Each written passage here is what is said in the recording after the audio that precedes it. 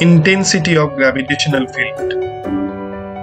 Intensity of gravitational field.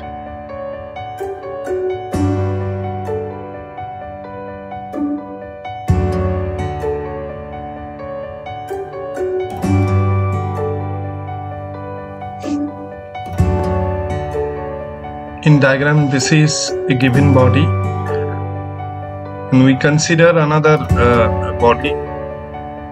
Given body of mass capital M is uh, situated at the point O and at the point A we have a test body of unit mass.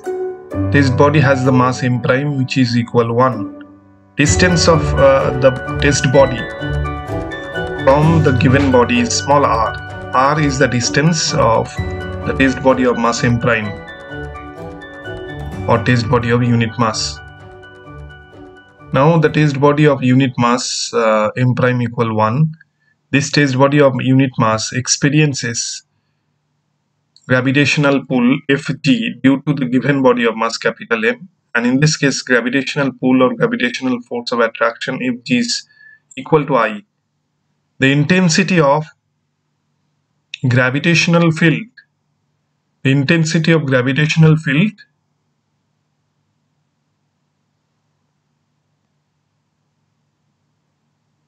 at a distance r the intensity of gravitational field at a distance r that is at the point a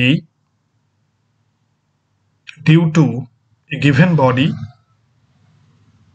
due to the body of mass capital M at O is capital I is given by capital I is equal I is the gravitational field I equal gravitational force of attraction.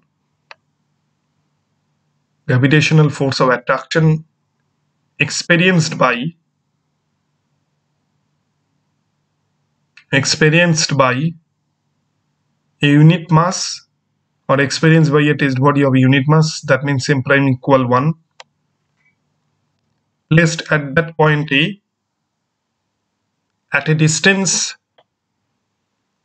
at a distance r from the point A at a distance r from the body of mass capital M from the body of mass capital M. Therefore, I equal G capital M M prime divided by R square. Putting the value of M prime, so G capital M into 1 divided by R square. Therefore, I equal G capital M divided by R square. I equal Gm by R square. Therefore, I equal Gm by R square which is the gravitational which is the gravitational field intensity gravitational field intensity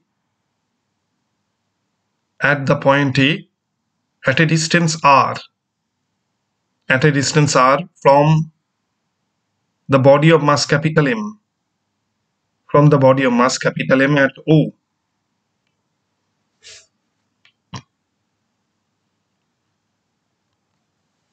So at O we have a body of mass capital M and we consider a test body of mass M prime equal 1 at the point A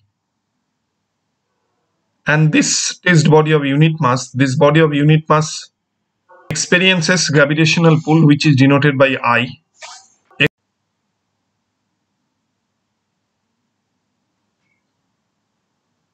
Now uh, we can express gravitational intensity in vector form.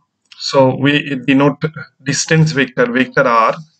Vector r is the distance of the point a from o that means the distance of the body of unit mass from the body of mass capital m and r cap is the unit vector of distance. Vector i equal mod vector i. And in this case vector i gravitational field intensity vector acts towards the body of mass capital m. That's why we should consider minus r cap because vector i is opposite to r cap so therefore vector i equal minus gm by r square r cap vector i equal minus gm by r square r cap. Negative sign indicates that gravitational field intensity vector vector i acts in the opposite direction of distance vector. This is a gravitational field intensity vector gravitational field intensity vector which acts to the body of mass capital M which creates the gravitational field which creates the gravitational field within which the unit mass within which the unit mass experiences gravitational force of attraction or gravitational pull due to the body of mass capital M. Therefore, vector I equal minus gm by r cube r r cap. Therefore, vector I equal minus gm by r cube vector r. This is the expression of gravitational intensity vector in terms of distance vector or in terms of vector r.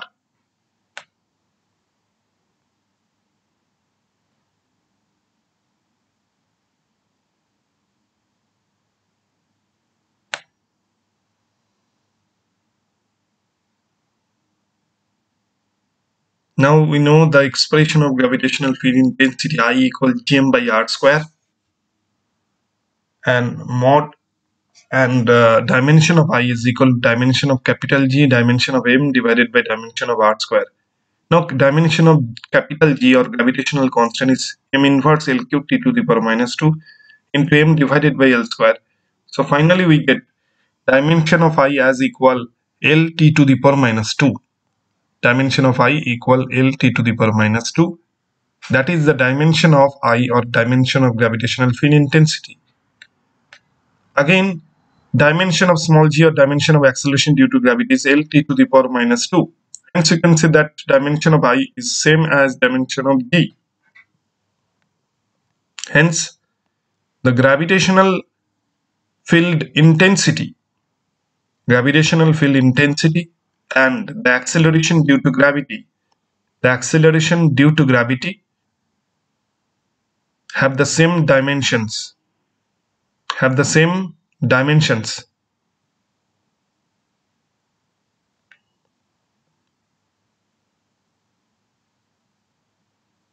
Have the same dimensions. I equal um, dimension i is equal dimension of g another uh, additional information is what i equal gm by r square so this is a given body of mass capital m we consider it test body of unit mass. Capital M is the mass of the given body. I is the intensity of gravitational field and R is the distance of unit mass.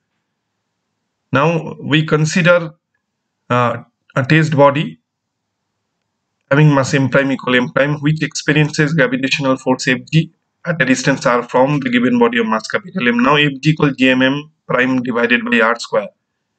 Now if we find Fg by i we get m prime that is the mass of test body. Therefore, Fg prime, Fg equal m prime dot i. Fg is gravitational force and m prime is mass of test body. This is the given body of mass capital M and this is the test body of mass m prime. Hence, we can say that gravitational force of attraction gravitational force of attraction is the product of mass of test body and gravitational field intensity. Mass of test body into gravitational field intensity